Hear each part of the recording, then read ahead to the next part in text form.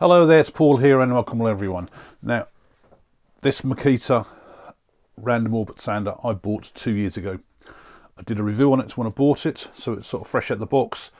And I also did a follow-up on this about a year ago. And I still get the odd question about it, but I've thought that now at the moment when I'm using on a proper project, I can give another follow-up and hopefully answer one or two more of the questions that have been coming through. Now the first few things I want to cover on this, which may answer a few people's questions that they've got straight away.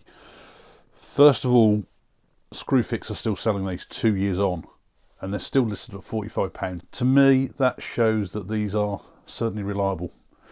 If they were a product that had been returned an awful lot, Screwfix would have dropped them. Obviously, I mean, two years down the line, Makita are obviously still happy with the range because they're still selling the exact same model. The orange, I have had some people say, well, that's not a Makita because it's orange.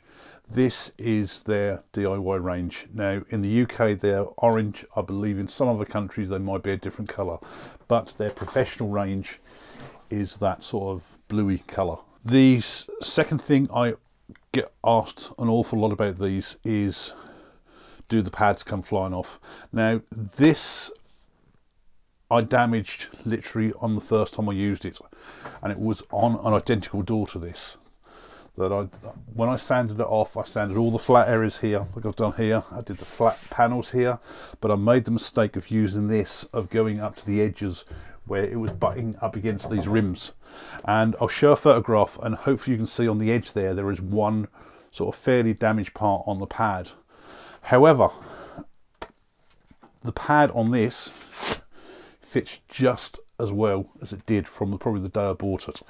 I've got some dust build up on there which I'm not too bothered about. That doesn't seem to affect it but when I make sure this is stored away I always make sure there's a pad on there uh, because it just stops any wood shavings and whatever collecting on this which is possibly what will cause a damage so try and always keep that as clean as possible now another thing I always get comments about is the dust um, my shed is absolutely full of dust at the moment. I've been sanding this door down uh, for a while. The other side is totally sanded, which is where a lot of the dust has been created. This bag on this sander I actually emptied before I started this side of the door. So all it's sanded is this surround of the flat frame and these two panels here. And that bag is certainly, I mean, it's certainly a good half full in there of really, really fine dust. Now the collection into the bag is just done via these holes in the middle of your pad here. And especially when you've got this emptied and you squash the bag, the moment you switch the sander on, it puffs up so quick. There's actually quite an awful lot of suction there. But anything that's sanded probably on the outsides here, especially when this is rotating around, the dust is going to come out the sides and there's no way that this is going to collect in the bag. So don't use this if you're going to, I mean, there's no way I'd sand this door down, say in my kitchen, because it would just cover dust everywhere. Ideally, you want to be somewhere either outside or somewhere where you don't mind a bit of dust. Now when I did the other side of the door I probably went through four or five sheets of sandpaper on this and I've just thought I'd also give a little bit of a tip on here on how you can possibly reduce that amount of sandpaper you use. At the moment I'm using 80 grit on here. This door has had some form of like a stain. When you sand it back to wood here, this even with 80 grit, it is really, really smooth. It's a nice finish. This, however, because obviously the moisture it's gone into it as well and the thickness of the finish on here, it's really, really rough. So there's a fair bit to take off there before you start taking this back. Now, the problem is what you get is when you especially go over this the first time, if you do too much sanding on it, you're likely to get you're likely to get your paper clog up and I mean it probably shows better on that disc there. Now hopefully you can see on that bit of sandpaper there all those black blotches on there. What that is, they're really really hard pieces of this finish. When you sand them up and you especially when you build up the heat it sort of like solidifies them a bit and the heat then transfers them to the paper and they almost bake then to this hard spots. So one quick key point is when you do this don't sort of sand the same area too much. Rather than let the heat build up too much as well, especially on your pad, take it off and then use one of these to clean this up. This is basically like a piece of rubber. If you Google sandpaper cleaner, um, you'll come up with lots of different options on there. They're primarily designed for cleaning things like belt sanders. And the good and the reason for that is because you've got your belt spinning around and you can then run this over and it just runs over in one area. And the rubber basically helps clean out all the mess out the sandpaper. I use this on my belt sanders and especially my discs uh, an awful lot. My discs that I use on the lathe and my sanding boards uh, it saves the life of the paper so much that I've rarely had to change the paper on it now the random orbit sander is a bit harder and trickier to do because the moment you switch this on, this doesn't spin round in a circle straight away. What the, the way the random orbit sander works is it's almost the motor is sort of like working at small circles on its own. And it's only when this comes in contact with a surface that this starts uh, rotating. Now, when I apply this to it, until I get it in the right position and the right pressure on it is when you'll see the, the actual disc moving.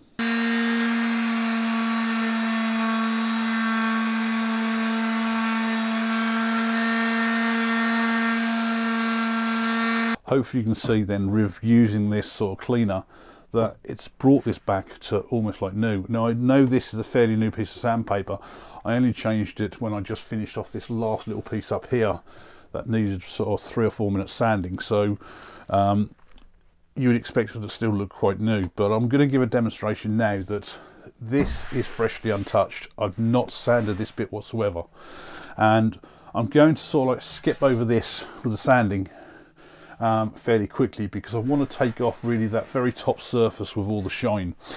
And I don't want to take too much off in one go and heat it up because otherwise I will end up with those claggy bits that go rock hard on the sandpaper. Now that one hasn't got many on it and that's the one I changed off yesterday where I actually sanded well over half of this door on that piece of paper and the reason that's lasted so long is because I was cleaning the disc so much.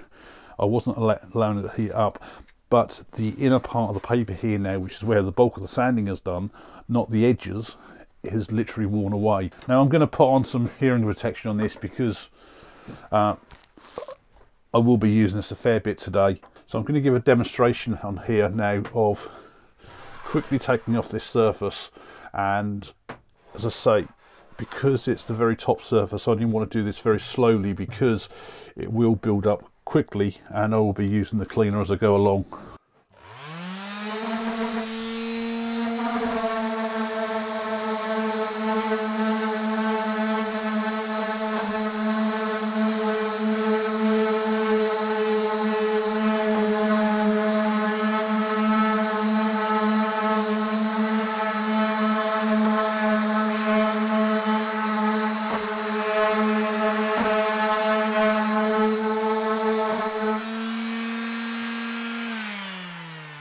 So now I've quickly skipped over there and uh, hopefully you can see, I mean this is 80 grit paper, fairly new. It's had a massive impact on really what that side is like compared to that side. This, hopefully you can see on here, is just basically covered with, with the dust. Now that's really because I was going over fairly quickly. There was no heat generating on this pad whatsoever. But to now keep this pad in condition, good condition as well. I'll just use my cleaner.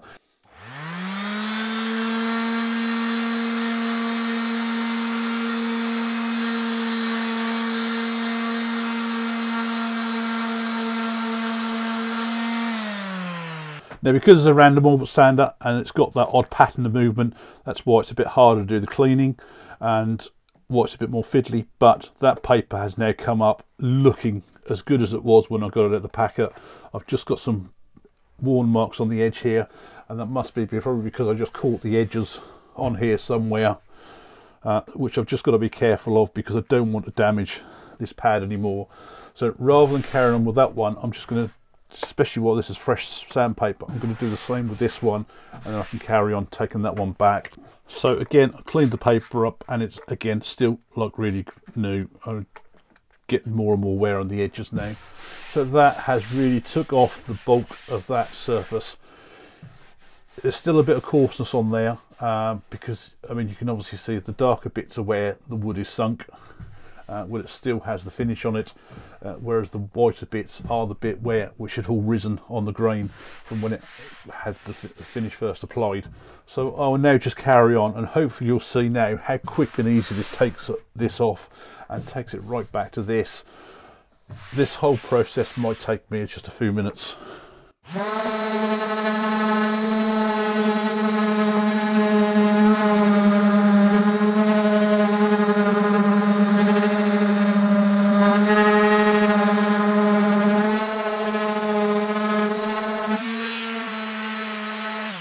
here's a good example of where these hard bits form and if you catch them early enough like that they will pop off. So that's a case of just, and I can feel the heat on this now. That's really a case of where a lot of sanding on here built up the heat and there's an awful lot of that finish coming off in one go. So just catch your sandpaper early enough. Um, not a lot I can do about that one now. That's gone really hard. I'd, oh, uh, get, uh, has dislodged. But hopefully that sort of saved the majority of the paper still. And I can carry on. But just, let's say, be careful. Uh, too much sanding on a thick finish will build those up and make the paper more useless.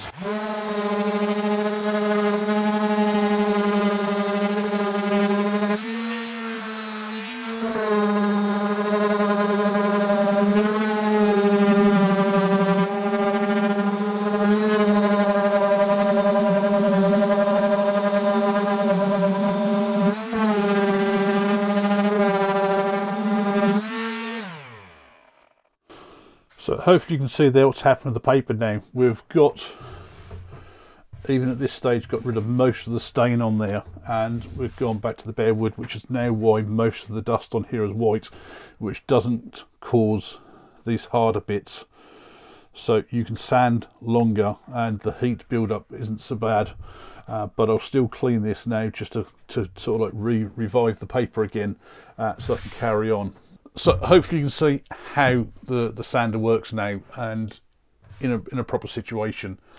But that, having that rubber pad to clean the sandpaper off is a real lifesaver. I mean to be honest with just doing what I've done there I could have probably almost got to the point where I need to probably throw that piece of sandpaper away had I not cleaned it off. I've only been using this for a few minutes and my hands can certainly feel I've been using the sander because of the vibration it's not excessive, but you'll find that if I use this for probably an hour, I will really feel it more in my hands and it takes probably about five minutes or so for your hands to sort of all of a sudden fully recover. Uh, so the, there is a vibration in there, but it's it's not excessive. The longer you use any power tool for anyway, you're going to get that vibration come through your hands. And it's more so with a random orbit sander because you've got to think when you pick up say like a drill or probably most ordinary sanders even like a belt sander everything is going around in one consistent direction in one rotation. There's sort of no difference in the gravitational pulls on the way the forces are coming out from what's being driven. But when you're using a random orbit sander because it's being shook in all sorts of directions uh, it's doing little circular motions in order to then create the bigger spin it's naturally going to put an awful lot more vibration in there. So you've got to expect that from a random orbit sander. So hopefully this has been a, a useful update for you. Um, I would certainly say though that if this sander broke on me now when I went to carry on with this, I'm so pleased with it and especially for 45 pounds, I'll be straight back to Screwfix and go and buy myself another one. Uh, that's what I think of the quality of these sanders. Thanks a lot for watching.